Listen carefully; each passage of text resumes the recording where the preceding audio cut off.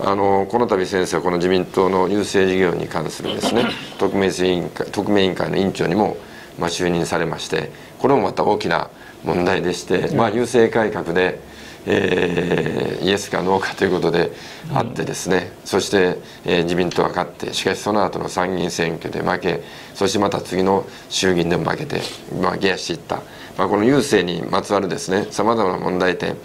えー、整理をしてなしなければならないところたくさんあると思うんですけれども、まあ、この郵政事業の、えー、この特命委員会ですけれども、まあ、どういう方向に先生はこれあの持っていかいかれたいという感じでございましょう、ね、あの小泉内閣の時にね郵政の改革をめぐって参議院で、えー、否決をされた、ね、それをですね民意を問うということで、えー、衆議院の解散を行ったわけですがその時えー、官房長官であったのは私で紫のふさを衆議院議長のところへ 届けたのは私なんですよ。それで党は分裂したり、えー、いわゆるこの選挙にでですね資格を選んでやるとかっていうことがありましてこれは党側がやったんですけどね、まあ、あの大騒ぎがあって、えー、そして、えーまあ、随分時間は経ったわけですが、まあ、その間あ3年ほど前にはあそのまた一歩まあ、調整するような、あ改正郵政民営化法もできましてね。それから、まあ、実際に郵便局長さんや当事者に聞くとだいぶ民営化はこなれてきたということで、まあ、会社であることはもう慣れてきている。それからまあ最初は縦割り形式論でも役人みたいな対応をしてたけど、だんだんそうじゃなくて民間会社だからあそのやはり会社として、えー、事業ができるようにサービスも向上したと、まあ、いろんな面で変化をしつつあると思うんですけどただ逆に今はですねその物流事業の問題にしても、あるいはあ金融事業保険事業についてですね、えー、民間会社とその郵政、えー、事業との調整をどうするか、ええ、これはもう株式の上場を踏まえてですね、えー、逆のイコールフッティングも考えなきゃならないという、え、そういう時代になったんでね、えー、まあ、虚心に、えー、どういうあり方が適当であるかということを考えたいと思ってるんですがその時に配慮すべきなのはですね、まあ、自衛改革でもそうでしたけど、うん地方というのは、ね、あまあ、地方創生でいろんな知恵を出しながらあ地域を守っていかなきゃならない、まあ、その時にもう最近は金融にしても保険にしてもですね、えー、なかなか地方まで目が届かないという実態もあると、例えばゆうちょの限度額についてもですね、うん。えーまあ、どこへ行って預けたらいいのか分かんないからタンス預金にしておくというような人もどうも現れ始めたとかですね、まあ、いろんな問題が発生しているわけですからそして、えー、地方銀行においてもですね、えー、まあ再編成とか、連携とか、あまあ、金融の新しい方向保険についても新しい方向が次々出てきてよって、まあ、10年経ったらだいぶ事情が変わってきてますからね、その変化に応じたこの郵政事業というものをですね考えていかなきゃならない。そう,、ね、そう思ってます。あの特に今おっしゃいましたその地方の問題ですね。やっぱり特定郵便局しかないというところ結構ございますよね。それであの限度額引き上げっていうのも、ね、あの出てるんですけれども私もあの上げて当然いいと思うんですけどもねその時にもともとこの先生に教えていただきたいんですけどその郵政の民営化やる時にですね私なんかなんかちょっとうがった見方がありましてですね要はあそこで国債をたくさんうん、あのそれで郵政でたくさん、えー、集めたお金がですね結局財政投融資で、えー、その建設、うん、えー、国債をどんどん支えられるから公共事業がどんどんできちゃうんだと、で公共事業をやめさせるっていう話の延長線上に、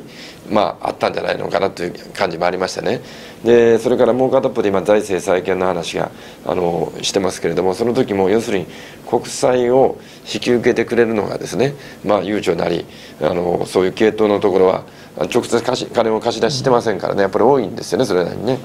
でそうするとそういうところがあるから国債がどんどん出せるんだという、まあ、私なんかにするともちろんそれでいいんだけれどもそういう国債が駄目だという意見もありね。つまりこれはあの基本的に新自由主義的な発想で、まあ、政府のお金を小さくして民間に回すという発想が元になって郵政民営化されてきたということを考えますとね限度額上げる時にももう一度そこら辺の話を整理しておかないとまたそのですね、えー、それがダメだという話になりかねないと思うんですけどこの辺は先生いかがそうですね。そこのところ一番難しいんで、えーえー、やはり巨大なあ預金額を抱え巨大な契約を持っていたあ保険、えー、というものがですね、えー、絶えず、えー、民間企業との競争条件において大きな影響を与えていたわけですね。えー、長年のその金融保険業界の思いというのがしかもそれが相手が国であると。国となんで民間が競争しなきゃならないっていうのならないんだっていうのがまあ全ての発想の基本にあってですね、ね、特に小泉さんがですねえー、強く、まあ、あるいはその周りにいた学者のような人が強くですねもうそこのところを直せという情熱があって、えー、まあ、あの郵政改革論が発生したとは思ってるんです。だから、あまりその資金の運用の問題とかね、うん、国の国債の消化の問題とかは、あまあ間接的な問題であったかなと。というのはですねうんまあ、あまあ小泉さんのエピソード一つだけ言うとね、ええ小泉さんは郵政大臣になった時にね、え、あのせっかく予算要求してた老人マイルの,、はい、その限度をね、はいはい、えー、引き上げるとい。う要求をですね新大臣があ着任したらあ反対であると言って、表明したんですよ、郵政大臣。そしたら郵政省当局はですね省を挙げてこの大臣は相手にせずと言ってですねその当時の自民党参議院議員で郵政の代表だった人はですね、えー、挺身部会で、えー、大臣を前にですねこのバカ大臣はね何たることをしてくれるかと、はい、ね、こんなバカ大臣は誰も相手にする必要がないからねとっととやめてもらいやめれるまでの間は相手にするのをやめようって提言したんですよ。自民党挺身部会で。まあ、これはね、あの私も出ておってハラハラしたけどもね、まあ、小泉さんもおこんちしようと。もうこれはね大変な事件でありましてね。でもちろん小泉さんがそういうのは丸優を悠長だけ優遇して、えー、税制上のまあ、優遇をするということは民間金融を圧迫するものであるというような観点で言ってるわけですけどね。うんまあ、それにしてもね、えー、この確執の歴史はね大変なもんでそれがあの改革に、えー、まあ出てきたという面もあるしだから学者の抽象論で、はい、えー、まあ、民間対、えー、国営金融という問題に、えー、このいわば転嫁したということ、まあ、しかし、えーまあ、10年経ってですねそういった問題があ、まあ、貯金額の減少とか、うん、それから実際に地方においてですね、えー、皆さん努力されて、えー、理解も深まってきたしその最初に言ってたほどのまあなんていうか、まあ、大きな激震は走ったけれども、もうとんでもない郵政事業自体があそのユニバーサルサービスができなくなるとかあ消滅してしまうとかいうことではないというねようやく精神的安定の状態になったし金融側から見てもですね私は、まあ、ある程度はねそね、えー、その自分たちはもうバブルの崩壊からリーマンショックからいろいろ経過してで落ち着いた今状況にあると。ね、まあ、したがってまああ十分いろいろ話し合う可能性はあると思うんだけど、ね、ただ抽象論から言うとね、えー、まあ上場のタイミングとの関係ありますけど、やはり国家的なああるいは国家公務員的な色彩がまだ残っていると思われている郵政事業がですねそのまんまその金融を圧迫するのはけしからんとか。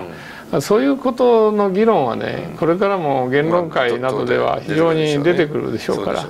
まあ、そこはあ実態がそうでないように、まあ、手当てしていかないといけないのかなと。ね、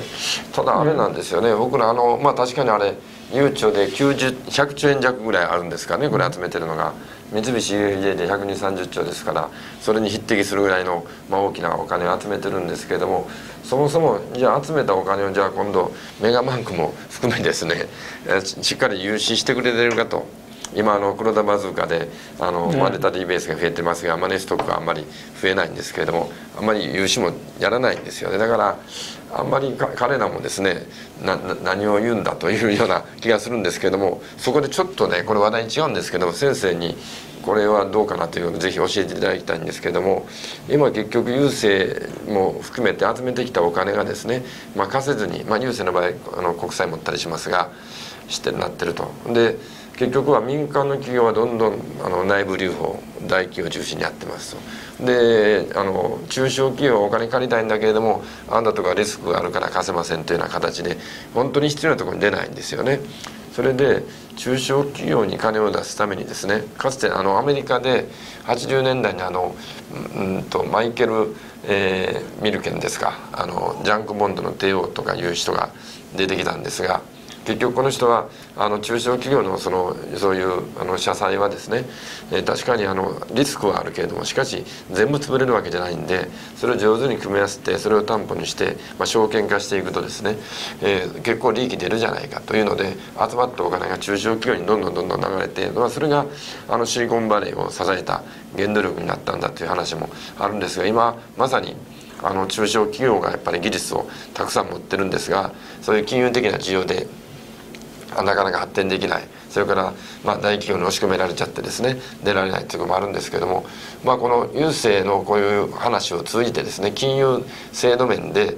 特にそういう中小企業にお金出せる仕組みをどっか考える何かきっかけにならないかなと思うんですけれども。その日本のですねいわゆるベンチャーキャピタルというか、はい、その何か新しいことをやろう事業をやろうという人にですねそれじゃあお金を出してあげようと。その代わり果実もたくさんいただきたいと、はい、そういうことがねまあ特にアメリカ人と日本人でも格段に差があるんですね。はい。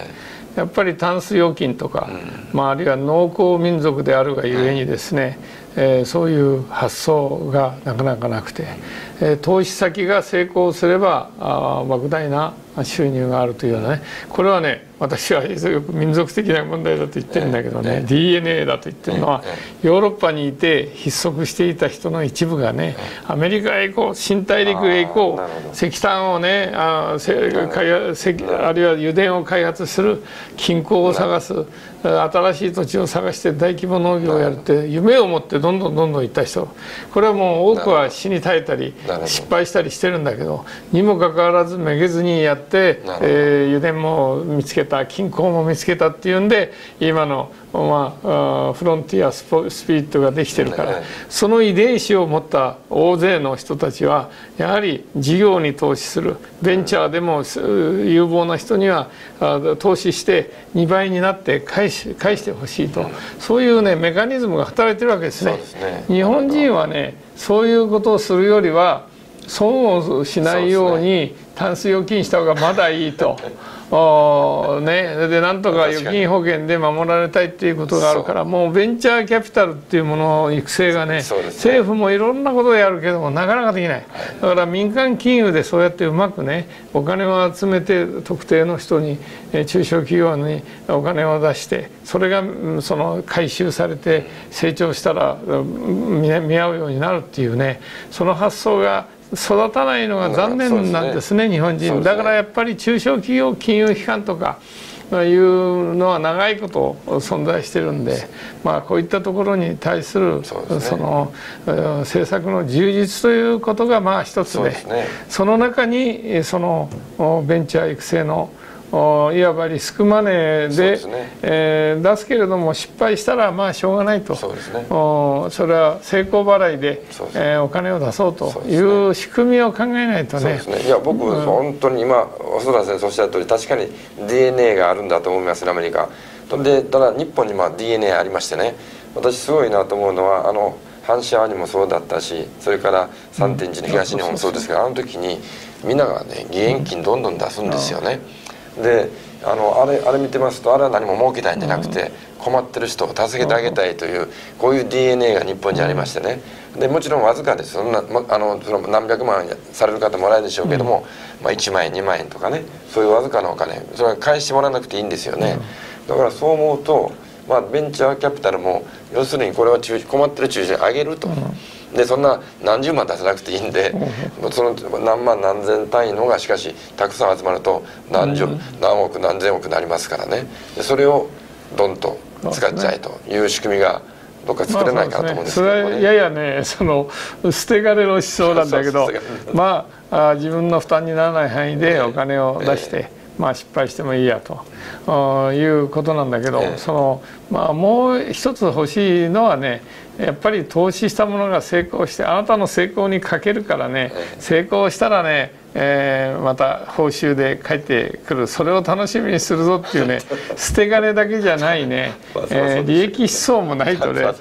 かなり大きな金はねなかなか集まらないからね。ここはまあああんまりだけど DNA のせいだからダメだって言っても育たないんで、ええ。えー、まあ松下だって本田だってみんな元は、ね、中小企業中小企業でね、えー、そういうベンチャーだったわけだから、はい、そのベンチャーの目が少し少なくなってるところが問題なんでね。そで、ね。えー、そのベンチャーを育てる仕組みをより大きくしていかなきゃいけませんね、はい、ありがとうございます、えー、いや本当にあの一月間にわたりまして、あの本当に貴重なお話あのお聞かせいただきましてありがとうございました。どうも,、えー、どうもありがとうございました、はい